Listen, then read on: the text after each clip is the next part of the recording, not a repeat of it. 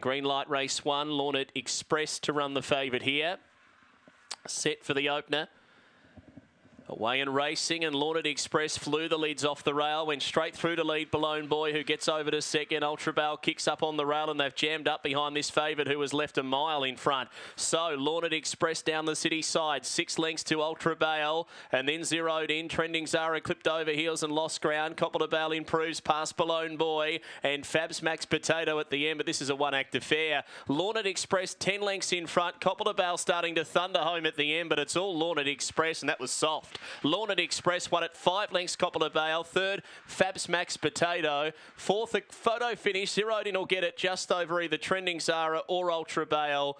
And uh, back at the end, Balone Boy, 30 and 21, and a romp there for Launard Express.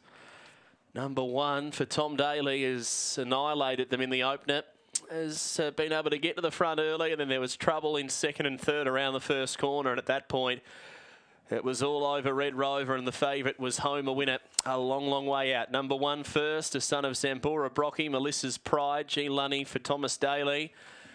Was able to set up, I reckon, at least a 10 length lead down the back.